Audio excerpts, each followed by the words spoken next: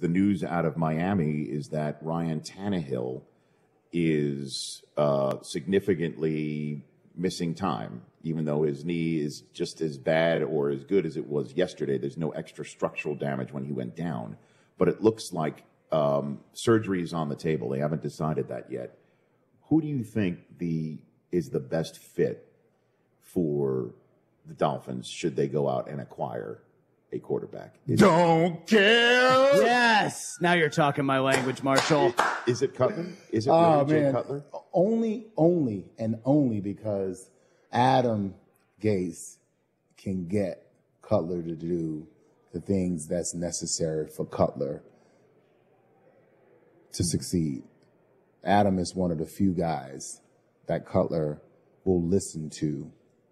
He, actually, he's the only guy that Cutler ever listened to. Well, you're, you're, you're talking to somebody who's intimate with Mike Martz I'm just- and he's- knows he's the- conversations with Mike Martz. Yeah, I mean, Adam got the best out of Jay. Um, so I I think it's an easy an easy sell. Uh, the problem, and and and, and I'm I'm, uh, uh, what do you do? Because if if Jay, let's say he, if you look at the numbers that he had under Adam, if he has those type of numbers, um, what do you do? So you go you go call him up and say, put your TV career on hold. Kaepernick is not an option. You don't believe? No, look, look, I'm going to say that Jay Cutler already said it was reported that he will put his. You don't even have to call him. Like he's almost to Miami now.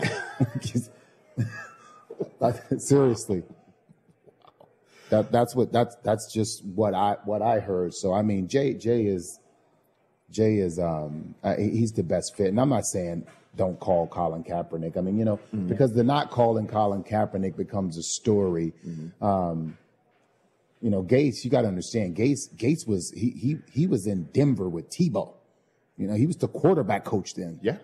Oh, yeah. So uh, he he could actually, I mean, he he could get the most out of whomever the quarterback is. But I believe for what they have and what they want to do, and in order to utilize the talent that that's around the quarterback position in Miami, you need a thrower, regardless if he might throw it to the other team every once in a while. But you do need a thrower of the football more than a runner, a, a guy who can run and throw.